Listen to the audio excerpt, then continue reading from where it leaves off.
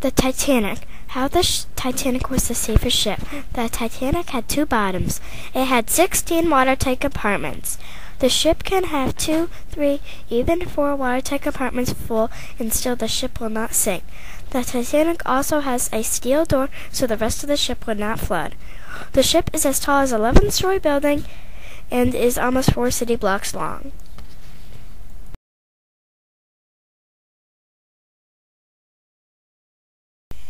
Titanic.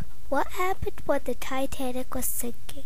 The captain was panicking because he knew his boat was sinking and there weren't enough lifeboats for everyone.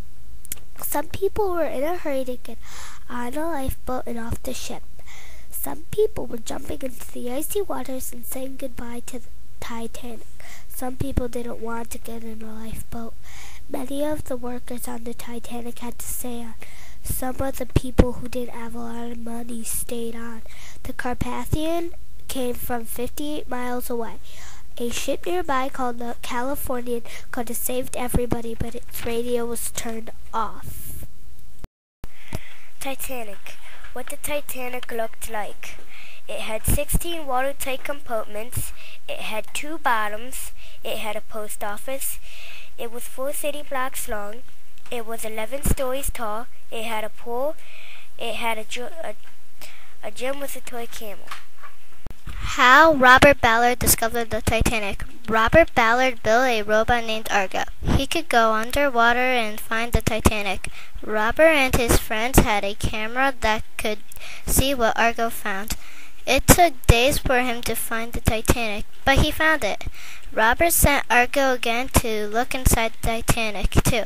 Argo found a footboard from a bed, a bathtub, a, a kinetic stalled head, and a toilet bowl. Robert left a note for anyone who had found the Titanic. It said to them to, that the great ship should be left in peace. The Titanic had 60 watertight compartments. Titanic had a thick steel door in front of every compartment. Two or even four compartments can be full of water, and the Titanic wasn't supposed to sink. The Titanic had two bottoms, one inside the other.